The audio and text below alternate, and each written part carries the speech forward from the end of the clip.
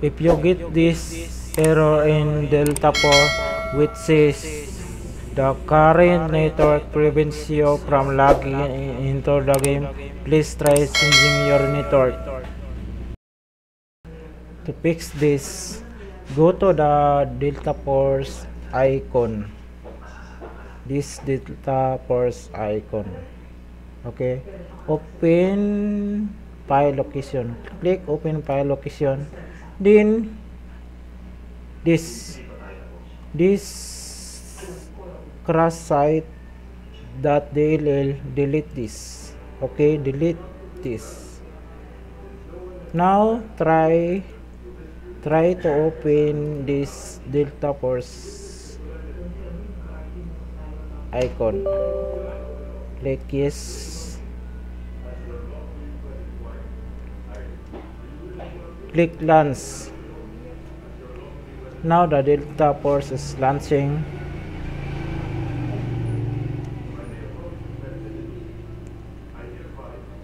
I'm waiting. The delta force is is running. I think is running or oh, that's right. The delta force is running because now the delta force running the delta force schemes is running okay? The delta force is running. The delta force preparing resource is loading resource is running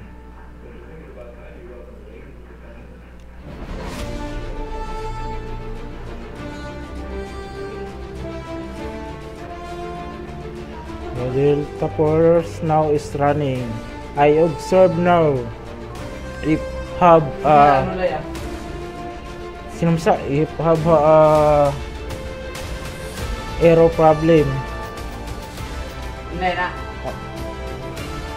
Now the del unyar sandi nagkon ko nag resolver. Now the delta force have no error on the monitor. That's right. No error. The delta force is, is not error. Right?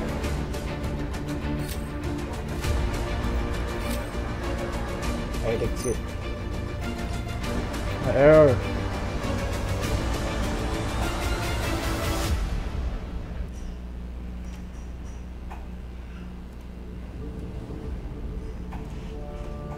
now you know the game is the game is running without error.